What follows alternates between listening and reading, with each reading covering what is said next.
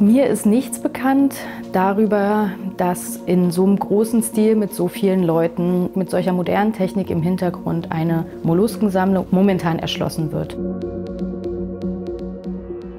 Hast du dich schon mal gefragt, woher wir kommen und wohin das Leben sich entwickelt? Das Museum für Naturkunde Berlin hat die Antworten. Wir erfinden uns neu und gehen mit dir in die Zukunft. Werde Teil unserer Museumsevolution.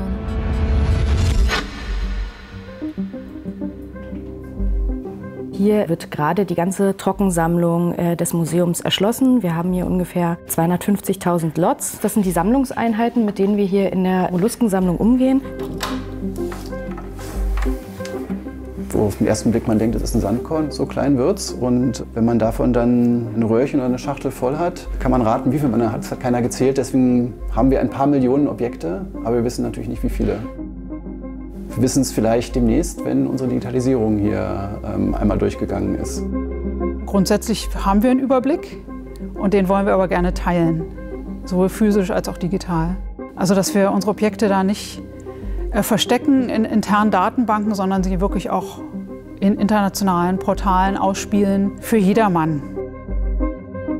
Alle diese in einer Kiste befindlichen Muscheln oder Schnecken haben gemeinsam, dass sie an einem Ort gesammelt wurden, zur gleichen Zeit vom selben Sammler. Das Ziel ist einfach, idealerweise möglichst alle Individuen sichtbar zu machen.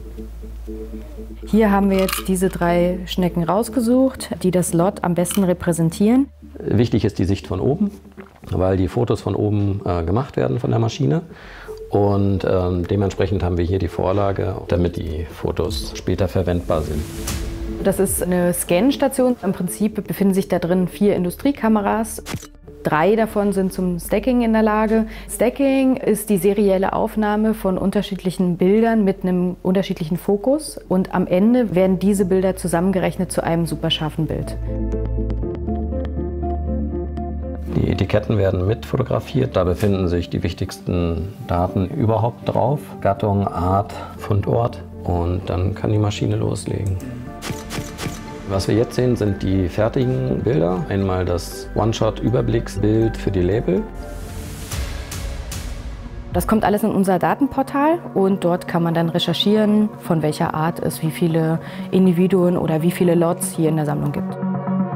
So hoffen wir auch, dass wir mit der Digitalisierung jetzt wieder eine Grundlage schaffen dafür, dass man 100 Jahre lang effizient, schnell äh, das mit der Sammlung machen kann, was man damit machen soll, nämlich Wissenschaft.